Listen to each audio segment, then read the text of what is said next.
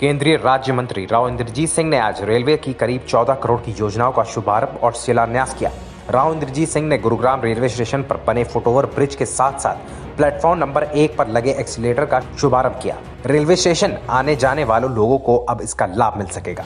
केंद्रीय राज्य मंत्री राव इंद्रजीत सिंह ने बताया कि स्थानीय निवासियों की ओर से पिछले कई वर्षों से रेलवे स्टेशन के आर पार फुट ओवर ब्रिज की मांग उठाई जा रही थी।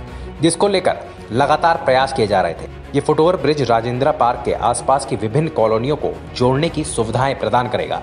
फुटओवर ब्रिज से रेलवे स्टेशन पर चढ़ने और उतरने के लिए एक्सीटर की सुविधाएँ भी मुहैया कराई गई हैं। इस सुविधा से रेलवे स्टेशन से ब्रिज पर चढ़ने और उतरने वाले यात्रियों के साथ साथ बुज़ुर्ग और बीमार यात्रियों को उसका लाभ मिल सकेगा। आज के दिन जो आज के बजट के अंदर हरियाणा को मिला है, खासतौर पर दक्षिण हरियाणा को मिला है। उसका ज़िक्र मैंने अपने भाषण के अंदर किया है। आज यहाँ मैं उपस्थित हुआ हूँ ये फुट ओवरब्रिज और एस्केलेटर जो भारत के अंदर सबसे ऊँचा एस्केलेटर बनेगा, उसका उद्घाटन के ऊपर यहाँ पर मैं करने के लिए आया हूँ।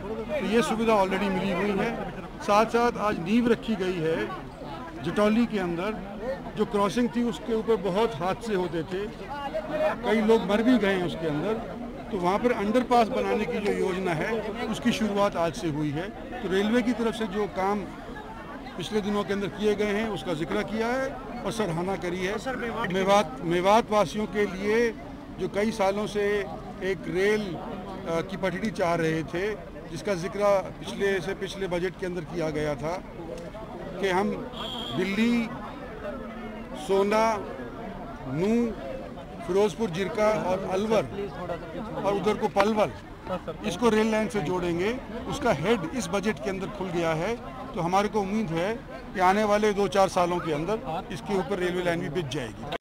रेलवे स्टेशन के बाद केंद्रीय मंत्री राव इंद्रजीत सिंह लोक निर्माण विभाग के रेस्ट हाउस पहुँचे और उन्होंने वहाँ पर नगर निगम के अनेक विकास कार्यों का उद्घाटन एवं शिलान्यास किया। ये जानकारी देते हुए नगर निगम की मेयर मधु आज़ाद ने बताया कि केंद्रीय मंत्री राव इंद्रजीत सिंह ने नगर निगम की लगभग 17 से 18 करोड़ रुपए की विकास परियोजनाओं का शिलान्यास और शुभारंभ किया है। आज हमारे केंद्रीय मंत्री राव इंद्रजीत जी ने, आज हमारा एक तो फुटवेयर ब्रिज का ओपनिंग की है।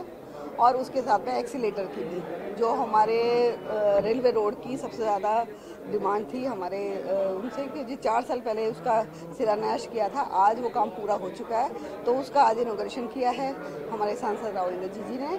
और हमारे जो नगर निगम के कार्य चल रहे थे, जो बड़े प्रोजेक्ट चल रहे थे, जिसमें सत्रह अठारह करोड़ के लगभग हमारे वर्क थे सारे सभी वार्डों के तो आज उनका भी शिलान्यास किया है, उन्हें इनोग्रेशन किया है, हमारे केंद्रीय मंत्री रावेंद्र जी जी ने। Bureau report V news